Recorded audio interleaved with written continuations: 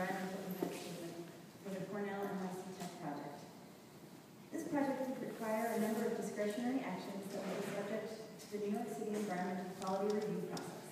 These actions include an amendment of the New York City Health and Hospitals Corporation operating agreement with the city, disposition of city-owned property to EDC, the Economic Development Corporation, for a subsequent long-term lease and sale to Cornell, mayoral approval of the leasing sale terms, RIOC approval of modification of the city's lease with RIOC, a zoning map amendment to change the project site zoning from R72 to C45, a zoning text amendment to create a special Southern Roosevelt Island district, and a city map amendment to map the ring road surrounding the project site at the city street. The draft scope of work for the Cornell NYC Tech project, which is the subject of this meeting, outlines the approach for examining the project's potential effects on various environmental areas. The analyses will be conducted consistent with the methodologies and impact criteria guidance outlined in the city's Environmental Quality Review Technical Manual, which was updated most recently in January 2012. Consistent with the CEQR technical manual, the draft EIS will examine 18 environmental areas of concern.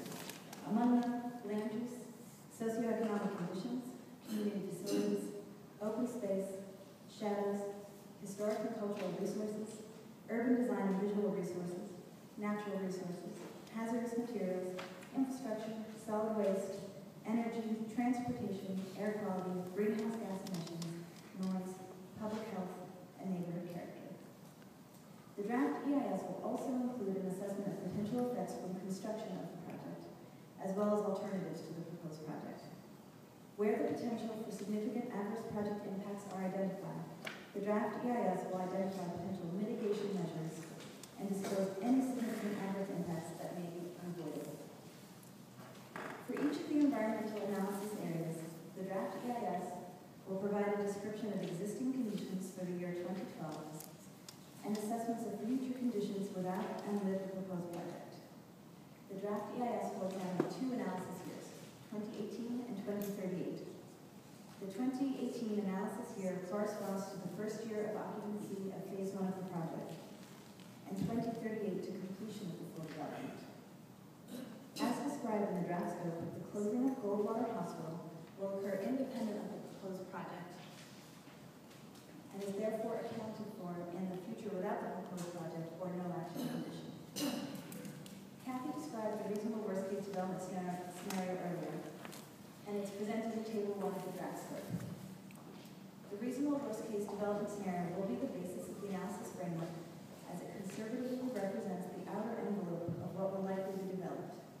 It will be assessed in comparison to the future without the project for purposes of determining adverse environmental effects. The draft scoping document details the approach and methodology to be applied for each environmental area. I'd like to highlight a few of those areas as the draft EIS will examine. The historic and cultural resources analysis will provide information on the Goldwater Memorial Hospital complex, which is being reviewed by the State Historic Preservation Office for its eligibility for listing on the state and national registers of historic places. This analysis will also assess the project's potential to affect other nearby historic resources, such as the Queensboro Bridge to the north and the Strecker Laboratory and remaining of the Smallpox Hospital to the south. The open space analysis will account for new publicly accessible open space to be provided as part of the project and the effects of the new population that would be added by the proposed campus.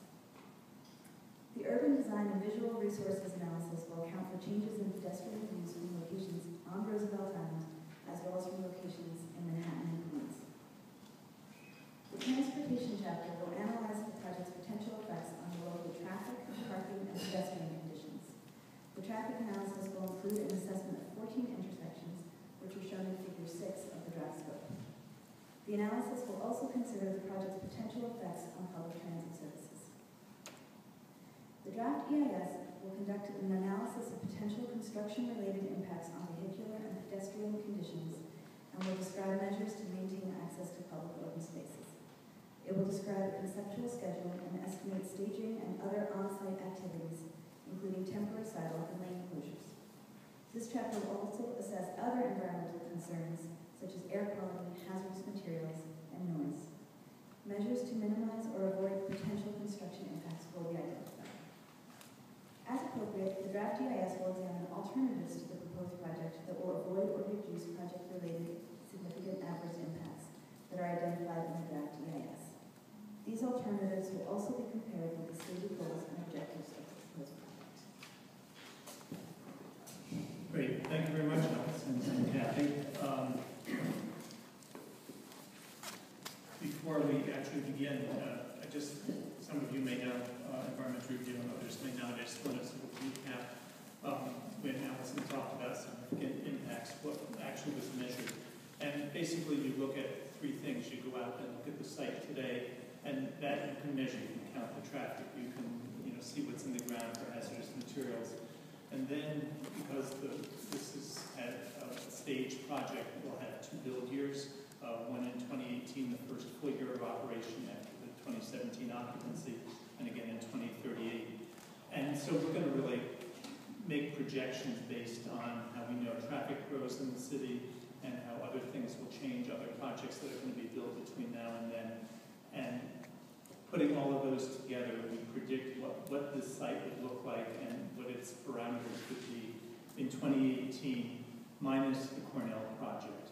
We then do the same analysis but include the Cornell project.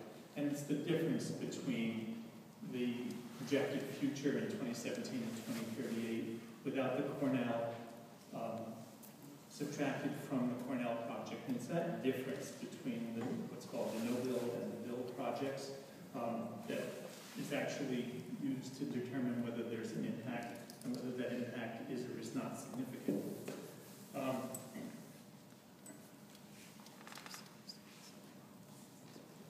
So um, we can now move into the third section of, of the meeting, uh, where members of the public, you guys, can uh, provide input on how the environmental review should be conducted. Comments that we hear tonight, as I said earlier, or that are submitted till the end of the comment period, um, will be used to further refine the scope of work for the DEIS as appropriate. The final scope will reflect consideration of all substantive comments received. Both oral comments and written comments receive equal consideration. The final scope of work will then guide how the DEIS is prepared. I'll quickly go over the procedures we'll use tonight. It's my job to ensure that the comments you make on the draft scope are received in an orderly fashion, so that the record will be an accurate reflection of what is said. We have a court stenographer here tonight recording the proceedings. And I wanted to reiterate that it's the purpose of tonight's meeting to hear comments on how the environmental review for this project should be conducted, including such things as, do areas already identified for analysis need to be changed or modified in any way? How? What, if any, other areas or issues should be considered? Is there any information that the project team should know or other similar types of feedback? I'll call on speakers in the following order. Uh, elected officials, uh, any elected official representatives, city or state agencies, including community board members or their reps, and then members of the public in, in the order in which they signed up to speak. Each person who wishes to speak should have filled out a speaker card like this um, at, the, at the front desk uh, as you came in. Uh, you can do so now or anytime during the meeting. I'll take people in the order that they signed up. I'll call three names at a time to give subsequent speakers a heads up. If you're not ready to speak when it's your turn, your card will be put at the end of the pack and will be recalled at that time. I ask that you be courteous to your fellow participants and not interrupt when someone else is speaking. Everyone who wants to speak will have the opportunity to do so. Each person will have three minutes to make oral remarks, and we will signal when you have about 30 seconds left. When you come to the microphone, please state your name and help the stenographer out by spelling it. Like mine, it's a bit difficult. Um, if you're speaking on behalf of someone else or some group, please identify who they are. Please speak clearly so that an accurate record of your comments will be made. When your three minutes have finished, please conclude your remarks. Please remember that you will have until Friday, June 8th, 2012 at 5 p.m. by which to make any new comments or supplement any comments that you've made tonight. Comments may be submitted to Matt Mason at the Economic Development Corporation, 110 William Street, New York, New York, on the 38. I will also accept any written comments of your remarks if you'd like to give them to me tonight after you've spoken this evening. Um, um, so we'll go right to members of the public. The first